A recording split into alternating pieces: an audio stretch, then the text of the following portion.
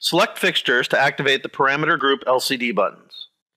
Once selected, the LCD buttons will display the available parameter groups. There are seven available parameter groups and five LCD buttons. You can page through the additional parameter groups using the wheel below the LCD buttons. Not all fixture types will have parameters in all parameter groups. Pressing an LCD button will make that parameter group active on the encoders. Parameters can have multiple pages. Multiple pages are indicated by the small circles in the fixture parameter window.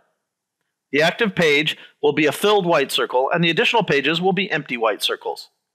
Pressing the LCD button cycles through the available pages. Pressing an encoder down once will make the corresponding parameter selected for effects, fanning, etc., without changing the value. The selected parameter will be indicated by a blue light below the encoder and an orange border in the fixture parameter window. There are a number of options available in the parameter window. The first option is range lock. Some fixture parameters such as shutter, gobo, gobo rotation, and so on can have their value ranges broken into subranges. Range lock would stop you from manually scrolling out of a subrange. For example, the shutter parameter of most fixtures has multiple types of strobe available, like unison strobe, random strobe, opening pulse, and more. With range lock on, you select a strobe type and use the encoder to scroll through the speed. You cannot scroll out of that strobe type range. To move to another type of strobe, you would either touch it in the window or turn off range lock and scroll using the encoder.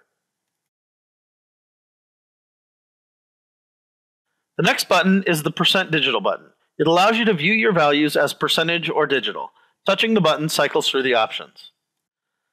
The next button is the relative absolute button. It allows you to control values either relative to each other or in an absolute mode, causing all fixtures to jump to the same parameter value. For example, if we have the intensity value of a selection of fixtures fanned between 50 and 80% and relative selected, scrolling the encoder up 10% would move our range to 60 to 90%. Selecting absolute and scrolling the encoder would cause all fixture intensity to jump to the middle of the range and adjust in unison. The next button allows you to set the encoder sensitivity. The sensitivity can be set from 8-bit to 16-bit or dynamic. 8 to 16-bit is coarse to fine control. Dynamic makes the sensitivity dependent on your scroll speed. Scroll slowly for fine control or rapidly for coarse control. The next button is pan and tilt combo on or off. It's relevant to effects and will be covered in the effects video series.